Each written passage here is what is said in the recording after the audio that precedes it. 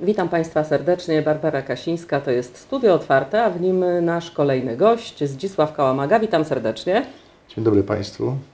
Doktor nauk ekonomicznych, politolog, radny Rady Miasta Ostrowca i Powiatu Ostrowieckiego, dyrektor naczelny Zakładów Porcelany Ćmielów, prezydent miasta Ostrowca, starosta ostrowiecki, poseł na Sejm RP drugiej i trzeciej kadencji, doradca ekonomiczny w Najwyższej Izbie Kontroli, wykładowca akademicki.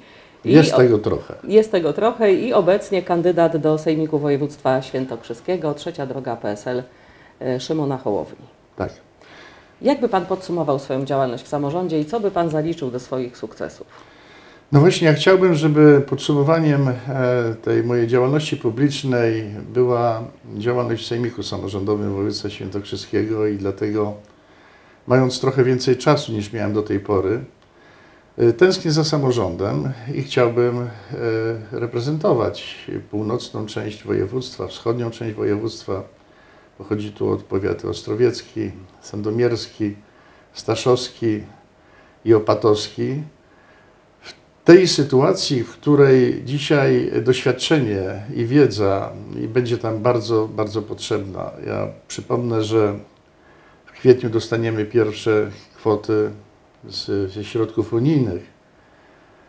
Te, które przez dwa lata nie zdobyć poprzednia ekipa nie potrafiła. I trzeba je, te środki mądrze rozdzielić na roz, prorozwojowe y, inwestycje. Y, tym razem będzie chodziło tutaj o termomodernizację, o oszczędność energii, o wyprodukowanie taniej energii i mamy na to bardzo mało czasu. I myślę, że tacy ludzie jak ja po prostu zwyczajnie przydadzą się w Sejmiku Województwa Świętokrzyskiego z uwagi na swoje doświadczenie i swoją wiedzę. No właśnie, jak ważne jest to, aby Ostrowiec posiadał silną reprezentację w Sejmiku? A no właśnie. I to jest, proszę Państwa, pewien, pewien e, problem, który też wynika z takiego zawsze rozedrgania się przed samymi wyborami. Wszyscy się koncentrują, i słusznie zresztą, na tym, żeby y, y, zrobić dobre listy w wyborach na y, y, prezydenta, wójta, burmistrza, do rad gmin, do y, powiatów, a trochę zawsze zapominało się, nie tylko teraz, o Sejmiku Województwa Świętokrzyskiego. O ile ten Sejmik we wcześniejszym, w początkowym okresie jego funkcjonowania nie miał takich kompetencji, jakich, jakie ma dzisiaj, bo dzisiaj ma bardzo poważne kompetencje, kompetencje tam wręcz stanowiące i decydujące o wielu kwestiach, tak e, byśmy przecież zawsze mieli tam delegata do Sejmiku, radnego. Natomiast czego nigdy nie potrafiłem zrozumieć, Myśmy przez całe dziesięciolecia nie mieli swojego przedstawiciela w żadnych organach wykonawczych e, władzy e, wojewódzkiej. Dzisiaj widzę, że zaczyna się to pomale- pomaleńku e, zmieniać. Mamy wojewodę, wicewojewodę, który jest z powiatu e, staszowskiego, ze Staszowa. To jest moja rodzinna miejscowość, tam się urodziłem.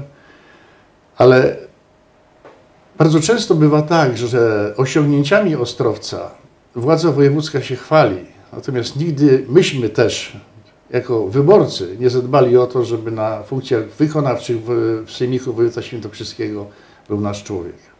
Czy właśnie y, y, będąc radnym Sejmiku, będzie Pan miał wpływ na, na to, co dzieje się tu na, na sprawę Ostrowca? Bezwzględnie tak, ja jestem człowiekiem konsekwentnym i e, parę pomysłów mi po głowie chodzi, zresztą tych związanych, o czym, o czym mówił pan prezydent Artur Łakomiec, dotyczące rozbudowy tych miejsc tam w okolicach e, nowego zakładu Huty, które mogą być przeznaczone dla inwestorów z pełną infrastrukturą, z drogami i tak dalej. I będą środki finansowe na to, żeby wspomóc właśnie przedsiębiorców, którzy zdecydują się na wybudowanie tutaj trwałych miejsc pracy i atrakcyjnych miejsc pracy, szczególnie dla e, młodych ludzi. To jest dla mnie e, absolutny e, priorytet. No właśnie, ale jak to zrobić? Zrobić to w sposób e, i prosty, i nieprosty. Oczywiście będzie to nabór w warunkach konkurencyjnych. Trzeba odpowiednio wcześniej e, poinformować potencjalnych e, inwestorów, zresztą oni sami, jeżeli są aktywni na rynku, to będą doskonale wiedzieli, jak się zachować. Przeprowadzić stosowne rozmowy, pokazać im ten teren, zaoferować coś ze strony również władz miejskich i powiatowych, Natomiast sama decyzja będzie oczywiście zależała, zależała od nich. No właśnie, no bo y, miasta borykają się z tym, y, miasta, powiaty, y, że no niekoniecznie tych inwestorów pozyskuje się w taki, pozyskuje się, aby coś zmienić, tak? Jak Ja- to zrobić, że, żeby tych inwestorów tu przyciągnąć? Ja już od samego początku, jak w samorządzie pracuję, czyli prawie od początku lat 90., y, to miałem do czynienia właśnie z, y, i to było też priorytetem, zainteresowań specjalnie wielkich nie było, z bardzo prostego powodu. Jeden z najważniejszych powodów to jest taki, że my w obszarze transportu nie mamy ułatwionego, w ogóle nie mamy je na razie, dostępu do dróg krajowych i y, autostrad. Czasami jesteśmy zaskakiwani jakimiś pomysłami, które. Ja nie pamiętam, żeby ktoś bardzo chodził koło tej dużej obwodnicy Ostrowca, mówię o, o tutaj y, lokalnej, lokalnej, lokalnej władzy. I nagle gwałtownie jakiś pomysł powstaje, który nie jest konsultowany i tak dalej, i tak dalej. Ja pamiętam, y, że y, do Ostrowca przyjechali wszyscy wójtowie, burmistrzowie i prezydenci gmin, które znajdują się w ciągu drogi numer 9. Odbyły się chyba dwa takie spotkania. No później człowiek przestaje pełnić tę funkcję. E, Następcy nie za bardzo akurat czują ten, ten problem i ten problem jak do tej pory nie, nie został rozwiązany. No, my do tej pory nie wiemy, czy droga numer 42 to dojdzie do Ostrowca. Mówię o, o drodze ze Skarżyska do Ostrowca, która połączy nas z drogą szybkiego ruchu. Jest to jeden z kluczowych elementów, który decyduje o tym, czy potencjalny inwestor do Ostrowca przyjdzie, czy też nie. Co jeszcze trzeba zmienić w Ostrowcu, aby tu przyciągnąć y, i młodych ludzi, żeby chcieli tu zostać? Y, Dla młodych ludzi bardzo potrzebna jest cała ta, jak to się fachowo nazywa, infrastruktura społeczna. Dostęp do żłobków, przedszkoli, dostęp do e, wszystkiego, co jest związane z szeroko e, rozumianą kulturą. I w tym kierunku pomału, pomału się bardzo dużo w Ostrowcu zmienia. I myślę, że ten kierunek, jeżeli będzie utrzymany, to również przyjdzie moda na to, żeby nie tylko w wielkich miastach mieszkać, ale docenić urok swojego miejsca zamieszkania. Jeżeli będzie, będą stworzone warunki takie, że będzie także i gdzie zamieszkać, mówię o, tutaj o tanim budownictwie czynszowym, o którym się mówi i mam nadzieję, że w Ostrowcu i w województwie się za to y, weźmiemy, to będzie ten komplet y, tych y, czynników, które decydują o tym, czy się zamieszka w tym miejscu, a nie w innym. Czy wtedy, kiedy Pan pełnił funkcję i prezydenta, i starosty, czy to życie w Ostrowcu się na pewno zmieniło na lepsze czy na gorsze? Ja uważam, że zdecydowanie na lepsze. Proszę, proszę pamiętać, dzisiaj to tak może zabrzmi już tak jakoś, e, e, a, o takich starych czasach będziesz wspominał.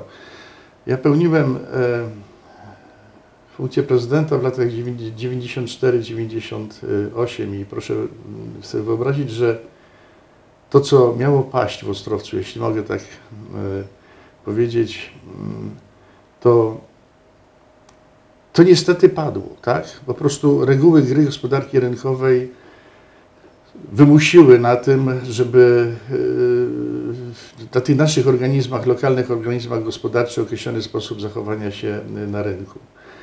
Nie było wtedy jeszcze Unii Europejskiej, nie było żadnych środków z Unii Europejskiej, ale wiele ciekawych rzeczy prorozwojowych dla miasta udało się załatwić. Kto dzisiaj pamięta, że wtedy czekało się 25 lat na telefon.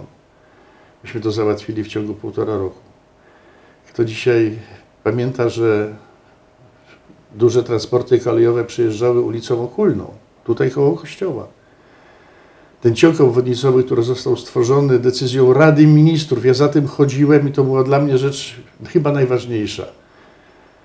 Dzisiaj on wystarcza na tę wielkość miasta i nie bardzo rozumiem, po co ten wrzask, mówiący tam gdzie, że przez Mychów przy wyburzeniu kilkudziesięciu domów ta droga ma iść. Myśmy stworzyli również zintegrowany system ciepłowniczy miasta, łączący dwie duże lokalne kotłownie. Przyjęliśmy kotłownię z Huty. na starym zakładzie kotłownia dzisiaj nie funkcjonuje, bo po prostu nie ma tego typu potrzeby, ale to, ale to umożliwia rozbudowę lokalnych sieci. Y, Zmodernizowaliśmy oczyszczalnie ścieków. Są to sprawy, od których zależy potem normalne funkcjonowanie miasta. To, co jest pod ziemią, dzisiaj decyduje o, o sukcesie.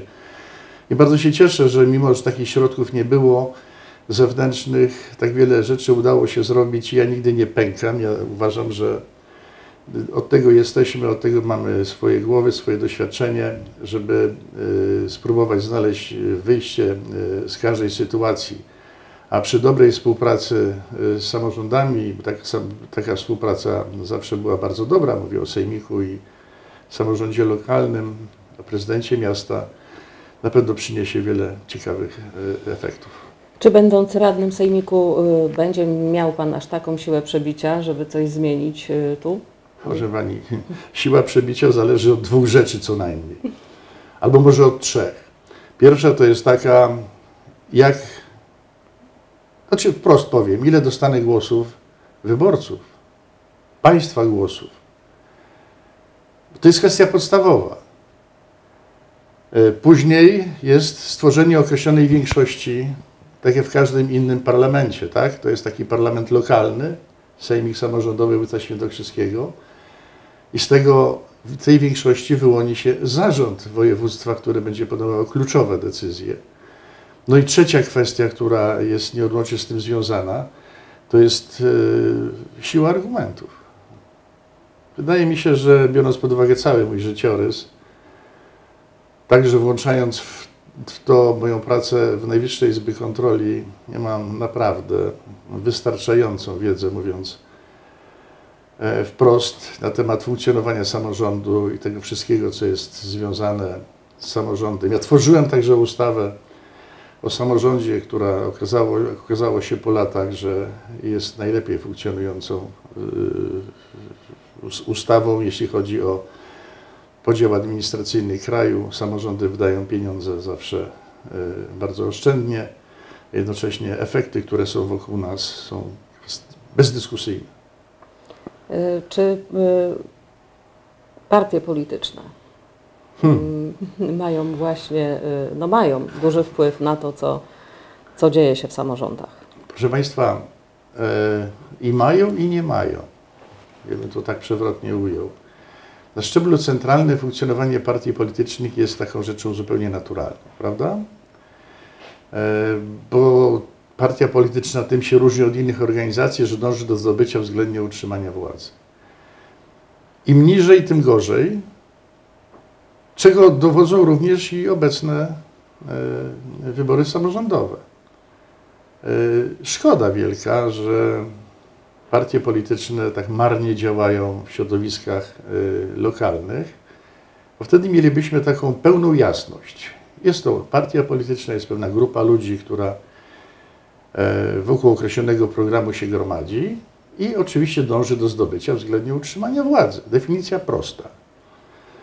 Od jakiegoś czasu, i to nie jest kwestia tylko mody, ale uciekania od szyldu politycznego, ja, ja zaznaczam, że jestem bezpartyjny od dwudziestu paru lat, tworzy się wtedy te lokalne grupy wyborcze, co jest niezłą rzeczą, bo nie każdy z mieszkańców chciałby się bawić jakąś polityczną działalność w sensie mm, dosłownym, ale chętnie by bawił się, ja powiedziałem bawił się, rozpoczął powiedzmy swoją e, działalność jako e, członek jakiejś grupy, która została doraźnie nawet zawiązana przed wyborami samorządowymi. I to nie jest złe zjawisko, bo tam przychodzi bardzo wiele młodych osób, które, przepraszam za kolokwializm, no gdzieś się przetrzeć musi przez tą całą lokalną politykę, bo już wielokrotnie żeśmy się przekonali, że przemycanie treści, czy nawet naśladowanie treści, kalkowanie treści polityki y, warszawskiej, polityki centralnej z polityką na dole w gminie, to wychodzi co najmniej komicznie i przeważnie wyborcy z tego się śmieją. Ja się wielokrotnie z takimi zjawiskami zetknąłem. Y, Chcę powiedzieć y, jeszcze jedną rzecz, która jest strasznie ważna i zaapelować do tych ludzi, którzy startują dzisiaj w wyborach. To jest ogromna rzesza głównie, głównie młodych osób, żeby się nie zrażali porażkami i nie uważali, że skoro przegrałem wybory, to znaczy, że już będzie katastrofa, jeśli nie będę nic angażował. Y, To jest naprawdę y, bardzo ważne doświadczenie życiowe i warto startować i drugi, i trzeci raz, być konsekwentnym w tym, co się robi I dążyć do celu. i dążyć e, wytrwale, wytrwale do celu. Ja chciałem tylko jedną rzecz po- powiedzieć, która bardzo mi leży na sercu, bardzo. E, Od niedawna, od stulecia Technikum Hutniczo-Mechanicznego przejąłem na siebie obowiązki e, prezesa Stowarzyszenia Absolwentów e, tej zacnej szkoły, którą się wszyscy chwalimy i słusznie. O, Wczoraj dowiedzieliśmy się, że mamy kolejnego laureata olimpiady, tym razem chyba wiedzy mm, mm, z, z okresu e, programowania, w każdym bądź razie dotyczącej e, specjalistycznej wiedzy, e, takiej nazwijmy to komputerowej. E, Natomiast ta szkoła nie ma sali gimnastycznej.